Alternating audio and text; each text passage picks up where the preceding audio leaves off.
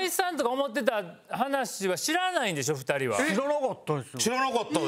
だけどなんかそれ直接言われたこともないんですけど、なんとなく営業先行った時に、坪倉が、もう我が家これで解散だからみたいなことよく言う時期があったんですよ。お前その前の日に酔っ払ってって覚えてない？お前から言ってきたこともあんだよ。解散しようってま